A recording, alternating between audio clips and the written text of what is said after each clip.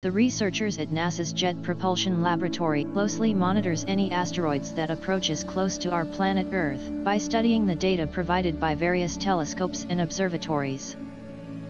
As per the information received from NASA's JPL, four asteroids will approach close to the surface of Earth on December 25, 2022. Asteroid 2022 YL1 it was discovered on December 1, 2022. It has an estimated size in the range from 38 meters to 85 meters.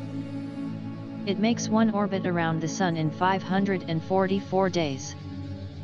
On December 25, at 3.57 GMT, it will flew past Earth at a close distance of 2.94 million kilometers, at an incredible speed of 12 kilometers per second. Asteroid 2022 YY1 It was discovered on December 19, 2022. It has an estimated size in the range from 17 meters to 38 meters. It makes one orbit around the Sun in 1,484 days. On December 25, at 7.12 GMT, it flew well past Earth at a close distance of 2 million kilometers, at an incredible speed of 15 kilometers per second. Asteroid 2013 YA14 It was discovered on November 28, 2013. It has an estimated size in the range from 51 meters to 113 meters. It makes one orbit around the Sun in 466 days.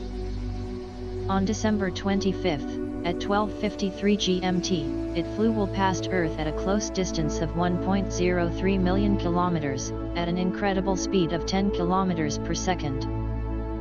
Asteroid 2022 TE14 It was discovered on September 22, 2022. It has an estimated size in the range from 95 meters to 213 meters.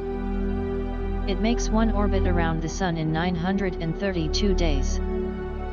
On December 25, at 2340 GMT, it flew well past Earth at a close distance of 4.3 million kilometers, at a whooping speed of 7 kilometers per second.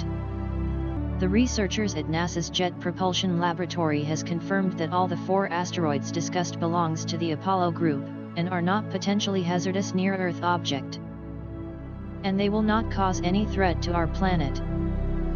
Thank you for watching this video.